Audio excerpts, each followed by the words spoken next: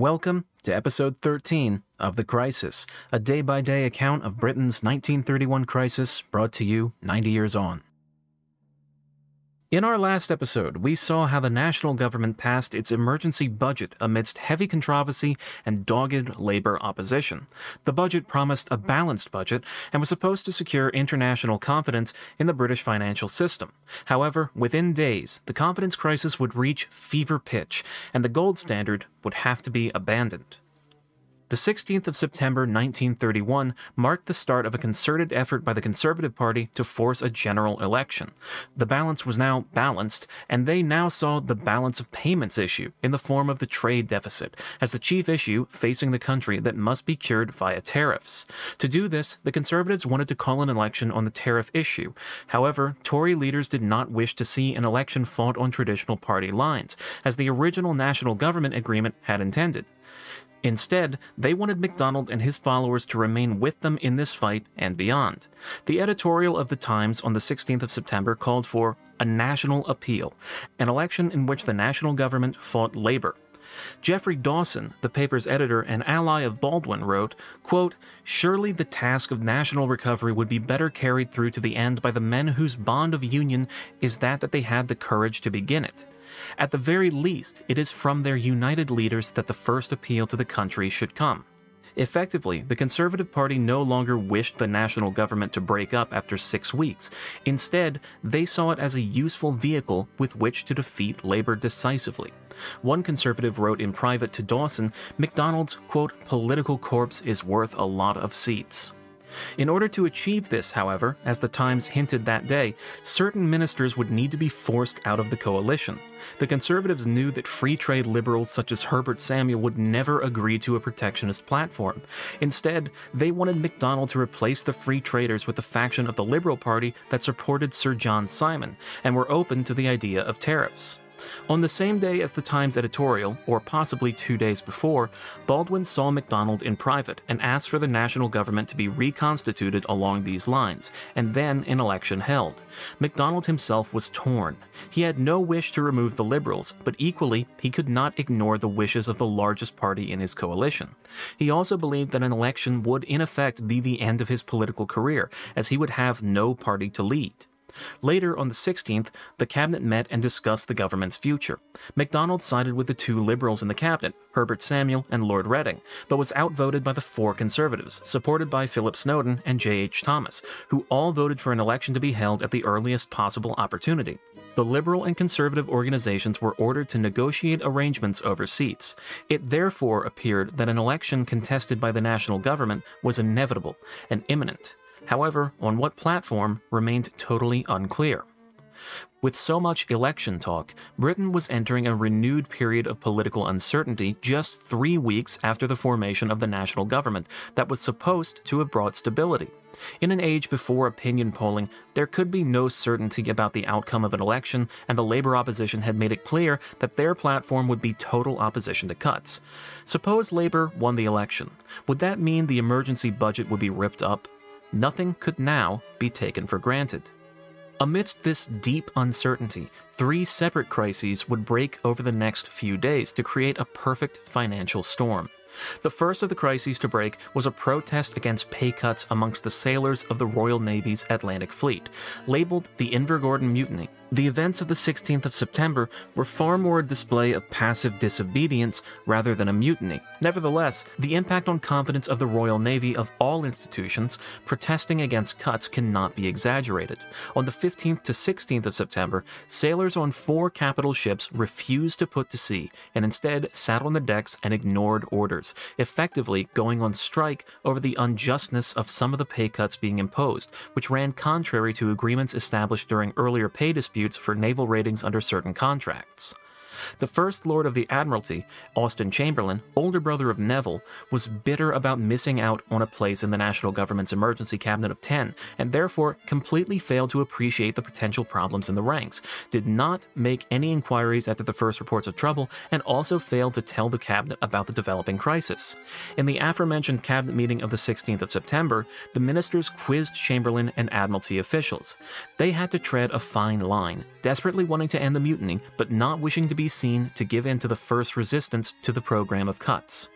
MacDonald made a statement insisting that the concerns of those unfairly affected would be addressed, and that this would have a negligible impact on the balancing of the budget.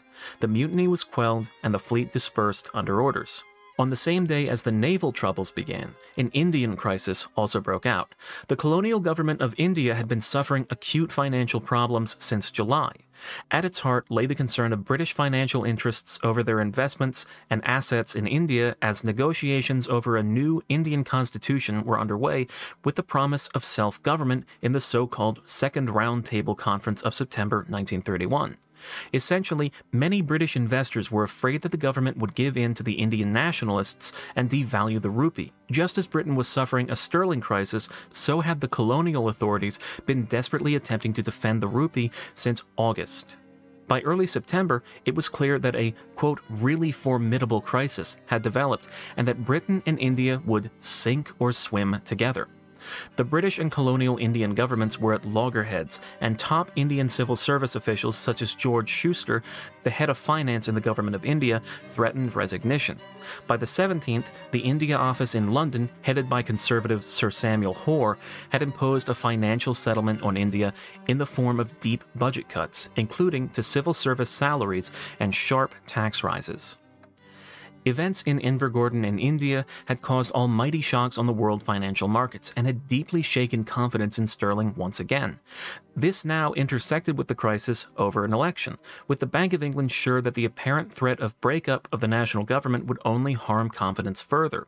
The fact that Labour was so firmly opposed to the national government, showing that it was not a national government at all, had already negated the initial bounce the new cabinet had brought. Now that an election was on the cards, there was a good deal of upset on the markets. Historian Philip Williamson blames both the Labour and Conservative parties in equal measure for this fresh confidence crisis crisis. Labour were obstinately opposing any cuts, thereby undermining the impact on confidence of the emergency budget and national government as a whole. The Conservatives, meanwhile, were forcing through an election at exactly the time the markets wanted stability and certainty. On the 17th of September, MacDonald asked the Bank of England their opinion on an election. The reply was that, quote, it would be impossible with existing resources to maintain the gold standard during the period necessary to conduct a general election. The bank advised that the national government should announce there would be no election in the near future. However, this was not politically possible for MacDonald. That same day, as the election uncertainty combined with the Invergordon and Indian crises, the bank lost 4 million pounds, and it was predicted reserves would be dry in 10 days. Things were as bad as they had been in August. Around midnight on the 17th of September, news arrived of a banking crisis in Amsterdam. The European liquidity crisis that had started in Germany and Austria in the summer was showing no signs of abating. On Friday, the 18th of September, the flight from Sterling worsened, and no less than 18 million pounds was lost. The Bank of England directors were aghast at the attitude of the national government and particularly its conservative members. They also believed that the government's reaction to Invergordon, in essence giving in, had had a deplorable impact abroad, much worse than the mutiny itself. In effect, the financial markets were far more worried by the signs of weakness in a government prepared to abandon its cuts at the first sign of trouble than by the sit down protest on the Royal Navy's warships. If naval ratings were to be protected, would every public sector worker be able to protest their way out of equal sacrifice? Given the impossibility of the situation, the bank directors unilaterally made the decision that the gold standard must be abandoned. It was simply impossible to stem the tide any longer. They told the politicians the following day, the 19th. MacDonald was recalled from the Prime Minister's country residence of Chequers and told by the bank's deputy governor, Ernest Harvey, that the bank would use the weekend to prepare the ground and that emergency legislation would have to be passed on Monday, the 21st, with the bank authorized to suspend gold payments. MacDonald informed his most important colleagues that day and the cabinet on the 20th, exactly four weeks after the collapse of the Labour government. The Labour leader Arthur Henderson was also informed on the 20th. All party cooperation would be needed to pass the legislation taking Britain off the gold standard in a single day. Henderson promised loyal support and delivered the following day, much to the chagrin of many Labour backbenchers. The issue effectively became a non political one as the Independent Bank of England made all the arrangements, including for the stock exchange to remain closed on the 21st. But banks remained open to prevent alarm, and the Board of Trade worked with food wholesalers to avoid immediate price rises and therefore panic. Chancellor Philip Snowden had reassuring words for the nation, telling them that, quote, the pound will not go the way of the mark. There is not the slightest cause for the least anxiety about the money you have in the banks. It would be silly to indulge in panic buying and hoarding. Equally, the Treasury's official press notice of the decision proved highly effective. Quote, it is one thing to go off the gold standard with an unbalanced budget and uncontrolled inflation.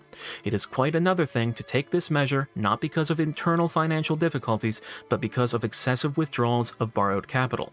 Everything passed off smoothly, despite the humiliation felt by ministers in private. The skillful presentation of the measure worked perfectly. Sterling fell from its gold parity of £1 to $4.86 to around $3.85 at the end of the week, far from a calamitous fall and much closer to the true value of the currency. By 1934, sterling would rise to considerably higher than its gold standard era value, at £1 to $5.04 with Britain's recovery from the Depression well underway. Philip Williamson sums up the surprising turn of events as follows quote, The national government's survival of the loss of the gold standard appears so effortless that in retrospect it can seem as if no problem existed. Of course, the government was assisted by its very character as a broad based coalition commanding wide political confidence, despite foreign financiers' anxiety about the effects of an election. It also commanded financial and business support for its reassertion of sound budgetary practice. In essence, taking the decision to come off gold in September with a national government in place and most importantly with a balanced budget was very different from coming off gold in August in an uncontrolled way with a failing Labour minority government and a yawning budget deficit.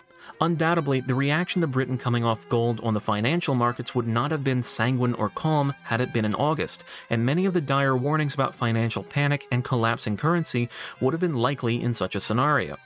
It was only the changed political circumstances of September that made an abandonment of gold a feasible option. What the events of the 16th to the 21st of September had done, however, was transform the political landscape.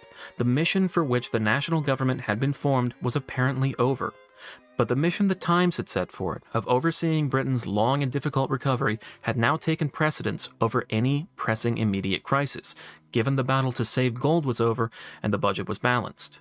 There still remained political struggles to be fought over whether there should be an election, who should contest it, and on what platform. Thanks so much for watching episode 13 of The Crisis. If you enjoyed it, then consider dropping a like because it really helps us out. And if you're not already, then consider subscribing to never miss another episode. As well as that, as always, we'd like to thank our patrons, including our executive producers, Eustace Abel, Jeremy Marcoux, Tom McCool, and Tony Turin, for helping to support the show. Thanks so much, and see you in the next episode.